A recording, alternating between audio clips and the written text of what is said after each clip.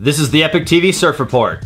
Welcome to part two of the second edition of Tweets of the Week. While part one of this two part bout of verbal diarrhea was aimed entirely at the hashtag VolcomFijiPro, part two is a completely random selection of tweets on a selection of completely random topics. I'll get the ball rolling with a little bit from the inertia. And this, dear friends, is Taiwan. Didn't expect that, huh? Photos by Joker and Arts. Perfect point breaks and damn fine fishing. Hashtag made in Taiwan. On a much more serious topic than places you'd never have thought to go on a surf trip, Gary Young wants us to retweet this topic like you'd pass along a mug of sunshine. If you buy into surfing, it's important. At Schumacher Cori is educating us. Hashtag Gadfly. Three-time ASP Women's World Longboard Champion, out of the closet lesbian, and Cape Crusader against everything wrong in this world, Cori Schumacher has her website up and running, www.corischumacher.com. Hashtag Surfing Renaissance. Recent targets of Cori's ire are Kelly Slater and Quiksilver over the Monsanto connection. Anti-Monsanto activist surfer Kelly Slater's company Quiksilver deep in GM cotton. Hashtag You've been warned. Don't piss that lady off. She went after Billabong and look what happened. Found this heroin. Anyone want to guess who the sponsor was?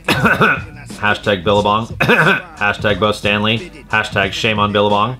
And not long after, they're about to go bankrupt. Oh, I've lost everything. As Matt in Brazil let us know, Billabong shares halved yesterday down to 23 Australian cents. If I were at Quiksilver HQ, I'd be a bit worried. They've lost 32 million US dollars this week alone. Quiksilver Q2 losses expand to 32 million. Transworld Business. Watch out, Transworld Business dudes. Keep announcing news like that, and you might lose an advertiser or two. Over at Surfer Mag, Brendan Thomas picked up on the theme. Nuclear titties no more.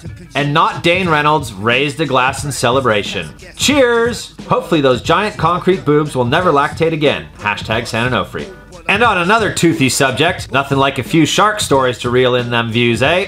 Thanks to WordSun for this one. Good old New Smyrna Beach.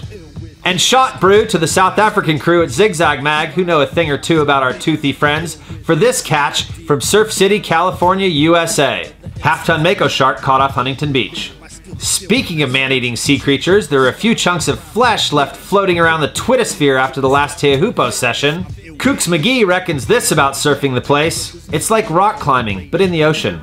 What do leprechauns and Jamie O'Brien have in common? They both enjoy chasing pots of gold at the end of rainbows. And this was the Wave's special gift to Alain Riou on his birthday. Not many sets out here today, so I took out my TV. Hashtag stuff you find in the lagoon.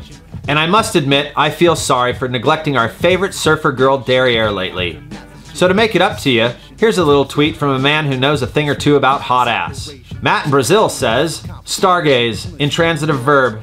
For example, to stargaze, to daydream of Alana Blanchard's butt. And since I don't want to leave you with the salty taste of sweat in your mouth, here are a few words of wisdom to chase the image of Alana's butt from your brain. Hashtag not a chance. But Art's Eye wants to try anyway.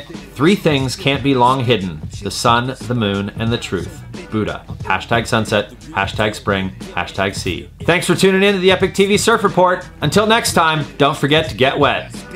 Chills up your spine when the rhyme's so fitted. I'm ill with it. From the start to the finish. I'm ill with it. I'm ill with it.